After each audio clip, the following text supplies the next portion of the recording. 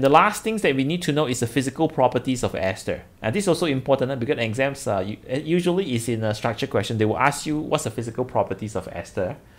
Uh, first, it has fragrance. It will produce a fruity smell. Okay, fruity smell. Actually, yeah, a lot of food, including sweets, eh, okay, sweets. Eh, like for example, you have sweets with uh, orange taste, orange smell, eh, banana. Okay, uh, all of these are ester.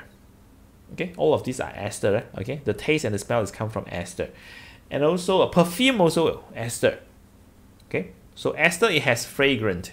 Uh, usually it's a fruity smell. Yeah, fruity smell, and then it's uh, insoluble in water so if you mix it with water, it, it, it will not dissolve in water, insoluble in water.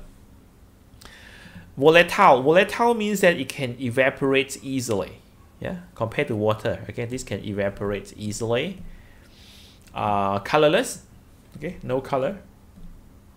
And uh, less dense than water. So if you mix it with water, then it will form two layer.